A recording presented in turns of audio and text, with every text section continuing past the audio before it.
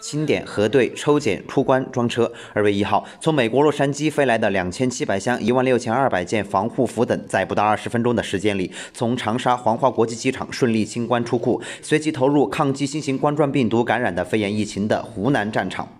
直到在微信群里看到物资被接收，美国佛州华人华侨联合会会长严耀阳、佛罗里达州湖南同乡会会长范小芳及资深理事曾颖清、华盛顿州湖南同乡会会长刘畅、南加州湖南同乡联谊会会长梁曾小梅等人，才稍稍把心放下。大洋彼岸，一百多位参与这场抗疫接力的湖南乡亲欢欣鼓舞。希望这批防护服能够到最急需的前线医护人员手里。我们对这场战胜这场疫情有信心，也希望家乡的所有人们大家一起团结努力，我们一定会战胜这个疫情。连日来，中国各地口罩短缺、防护服吃紧、医疗物资告急等消息一直令海外侨胞揪心。美国多个乡级同乡会组织并积极发动在美湖南乡亲为万里之外的故乡募集医疗物资，在美国掀起一场扫货行动。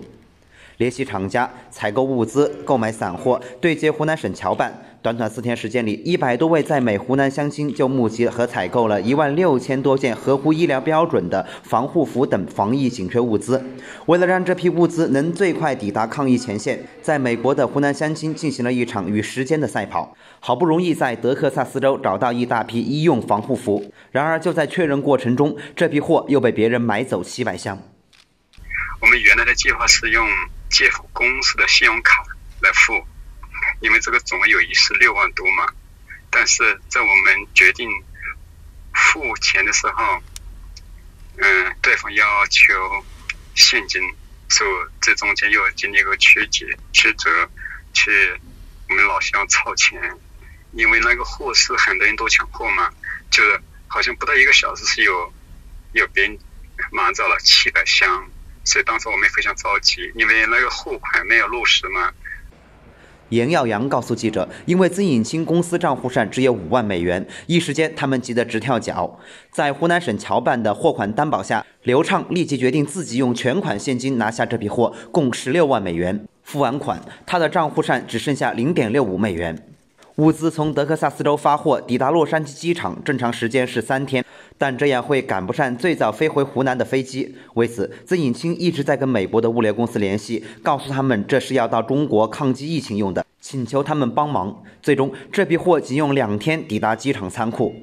刘畅、梁曾小梅和南加州湖南同乡联谊会理事长李秋红带领四五十位老乡义工，早早地守候在机场仓库。物资一到，他们就进行重新包装、制作标签、做出口打包等。而在此前，为了弄清楚货物能不能上飞机、海关给不给走、防疫达不达标等每一个关键环节，李秋红等人甚至提前几天就守在仓库里，免费给仓库帮忙，为抢运争取了宝贵时间。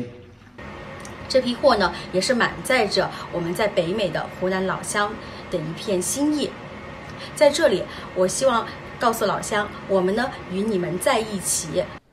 记者当天在收货现场注意到，一张张贴在货物上单个字体足有巴掌大的红色“长沙”二字，格外醒目。记者了解到，这是梁曾小梅八十多岁的母亲所写，老人家一共写了两百多张，就怕货物在运输途中被拿错。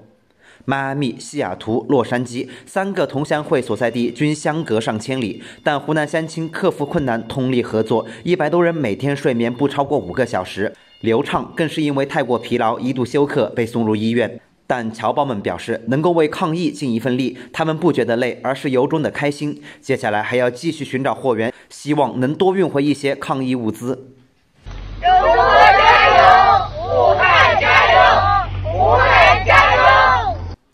据悉，这批抗疫物资是由湖南省侨办、湖南省侨联发动美国乡级同乡会紧急采购的，价值两百万元人民币，目前已交由湖南省政府统一调配。在此次行动中，湖南民营企业老百姓大药房也给予了大力支持。更多精彩尽在中国新闻网客户端。